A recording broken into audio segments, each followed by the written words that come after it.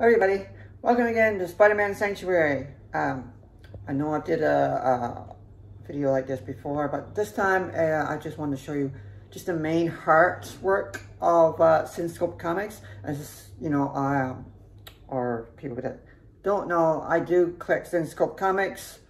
Um, I do have a few of them. Uh, they're not easy, not too easy to find. I do uh, find some. If I do see some, um, I do um, collect them. I do have some. I do uh, just did an idea to do some artwork.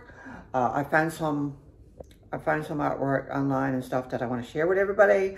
Maybe you are fans also. Uh, I am a big fan of Zenescope Comics. Uh, they're pretty awesome. The artwork's amazing, as you will see. So I just wanted to give you a heads up, you know, just a little intro here on what this video is all about. I just want to show you, I hope you all enjoy um, so here it is. Okay, everybody, take a look. Hope you enjoy it as much as I have uh, looking for it just, just for you guys and putting it out there. Just putting it out there. Okay, uh, so here it is, guys. Enjoy.